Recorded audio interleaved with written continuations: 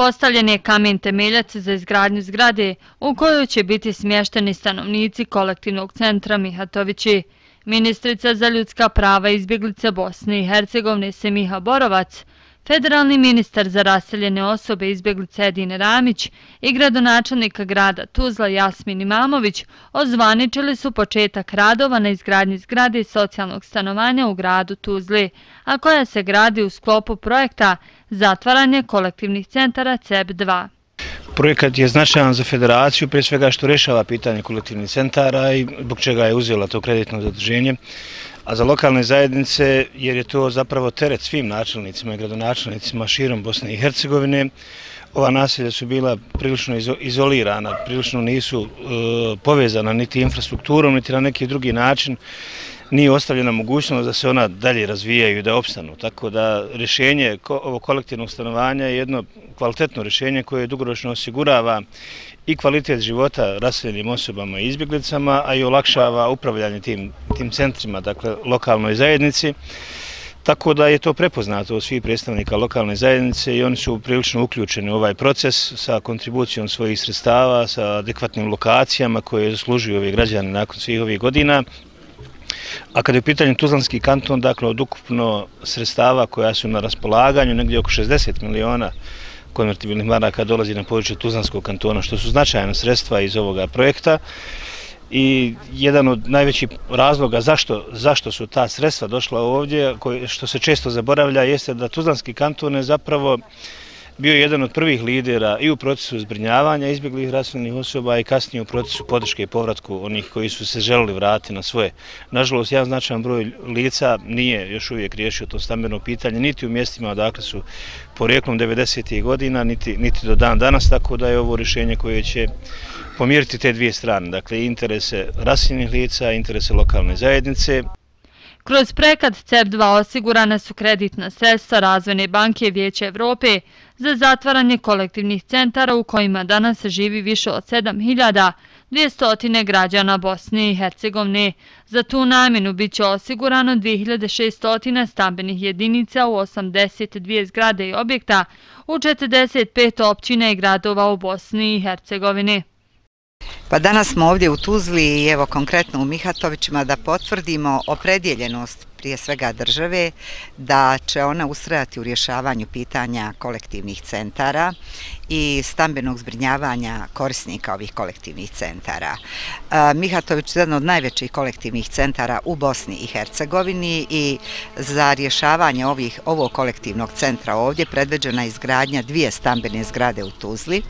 Jedna je već počela sa 90 stanova, a danas će biti obilježen početak radova za novu zgradu u Solinama sa 66 stanova. Znači da bi se riješilo pitanje ovih kolektiv, ovog kolektivnog centra potrebno je izgraditi 100, 156 stambenih jedinica za ove korisnike i vjerujem da će oni u ovaj novim e, stambenim uslovima evo dočekati sretno dalje e, živjeti na način da će država i dalje brinuti o njihovom e, statusu, o njihovom stambenom rješavanju, tako da Bosna i Hercegovina, zajedno i svi nivoji vlasti u Bosni i Hercegovini, e, vodeći računa upravo ovim socijalnim kategorijama, pokazuju jednu i odgovornost prema ovom jednom od najznačajnijih problema u Bosni i Hercegovini, to je rješavanje pitanja e, kolektivnih centara, stanovnika u kolektivnim centrima, smanjenju siromaštva, boljem ekonomskom, njihovom ekonomskom položaju i što je važno reći jeste da su za rješavanje ovog pitanja obezbjeđena financija financijska sredstva u vrijednosti od 120 miliona e, konvertibilnih maraka za, za zatvaranje 121 kolektivnog centra. Konkretno, zgrada u Tuzli, e, ove dvije zgrade u Tuzli koštače oko 8,5 miliona konvertibilnih maraka i to će biti prema našim svim evidencijama i proračunima dovoljno da se riješi ova stambeno pitanje stanovnika ovog kolektivnog centra. Kada je riječ o kolektivnom centru Mihatovići, nakon zatvaranja gradonačelnika grada Tuzla Jasmin Imamović ističe da će ići na prenamjenu. Dakle, grad Tuzla je 2015. godine donio strategiju e, o gašenju kolektivnih e, centara naravno pod uslovom da ljudi budu zbrinuti u drugim stambenim jedinicama. E, 2016. godine smo prvi u Bosni, dakle pitanje zašto su ova sredstva došla ovdje, e, prvi u Bosni i Hercegovini 2016. godine, dok se drugi bavili lokalnim izborima, mi smo radili na strategiji, na projektima zgrada, kako bismo povukli što više sredstava.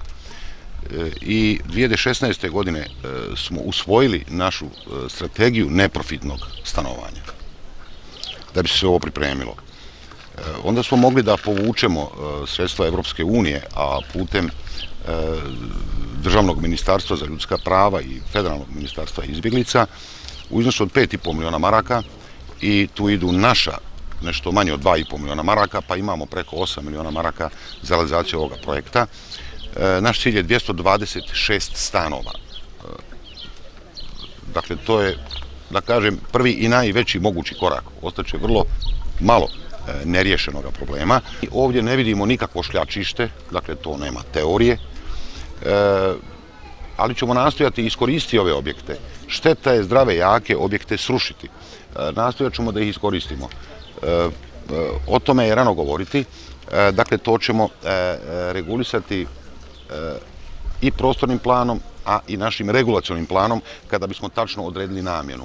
Neće biti šljačište, ako bude neka namjena, dakle neki objekti vjerovatno će biti uklonjeni, ali neki zdravi, dobri i kvalitetni objekti e, bi mogli imati korisnu, e, korisnu namjenu za ovu sredinu, jer ovo je blizu glavne ceste, ovo je dostupno, e, ima kvalitetni zgrada, u blizini su i dva, dva lijepa jezera i vidjet ću kad se konsultujem sa saradnicima, ali ne bi bilo loše da ovo bude neki rekreativni e, prostor e, kombinovan e, sa dijelom objekata u koje mi moramo smjestiti znate, u ovih u ovih